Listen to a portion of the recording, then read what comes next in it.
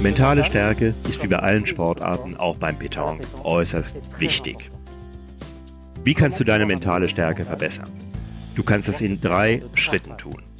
Vor dem Wettbewerb, während des Wettbewerbs und nach dem Wettbewerb. Also vor dem Wettbewerb, was kann ich konkret tun, um meine mentale Verfassung zu verbessern? Vor allem solltest du während des Trainings unter den gleichen Bedingungen spielen wie am Turniertag. Zusätzlich macht es Sinn, mit etwas Sport deine Fitness zu steigern. Das ist nie verkehrt. Während des Wettbewerbs hast du dann drei Werkzeuge zur Verfügung. Konzentration, Vorstellungskraft und Atemtechnik.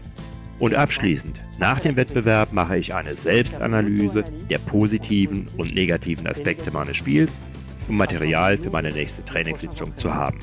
Auf diese Art komme ich in einen Regelkreis, um meine mentale Verfassung zu verbessern. Egal was passiert, bleibt mental oben auf. Auf geht's zur nächsten Runde.